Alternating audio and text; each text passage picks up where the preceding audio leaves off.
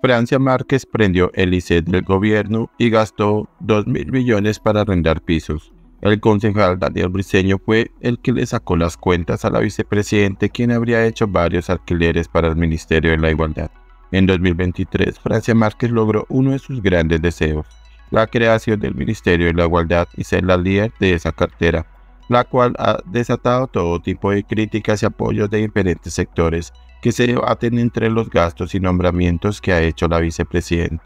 Precisamente sobre esta controversia le volvió a salir un lío a Francia Márquez, quien fue señalada por el concejal Daniel Briceño, quien aseguró en su cuenta X que la vicepresidente arrendó dos pisos privados por 2 mil millones de pesos en el Centro Internacional para el Ministerio de la Igualdad, un gasto que para él es exorbitante, más aún cuando el presidente Gustavo Petro ha pedido autoridad a sus funcionarios. De acuerdo con los datos de Briceño, la vicepresidente arrendó estos dos inmuebles por un valor mensual de 2.772 millones 971.520 pesos por 12 meses. De hecho, el cabildante mostró el contrato y los precios de los pisos. El contrato se hizo con el contratista PAMOC de Panel, sonado en un pleito reciente por unas oficinas arrendadas al Ministerio de Agricultura del actual gobierno indicó el concejal del Centro Democrático.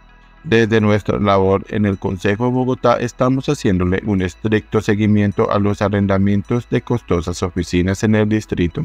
La austeridad en el gasto público comienza desde el arrendamiento de las sedes de las entidades. Dicho acuerdo de arrendamiento está contemplado desde el 29 de diciembre de 2023 y el 30 de diciembre de 2024. Además, el documento se habría celebrado entre la representante legal Marisol Suárez Villanueva y Diana Patricia Olmos Montenegro. De hecho, hace poco se filtró la orden que salió desde la presidencia a todos los funcionarios del gobierno para que tengan austeridad en el gasto de sus respectivas carteras. Antes de tomar un inmueble en arriendo o de renovar contratos de arriendo, cada entidad pública deberá verificar si existen inmuebles de otras entidades que puedan ser viables para su funcionamiento a fin de celebrar un contrato de comodato.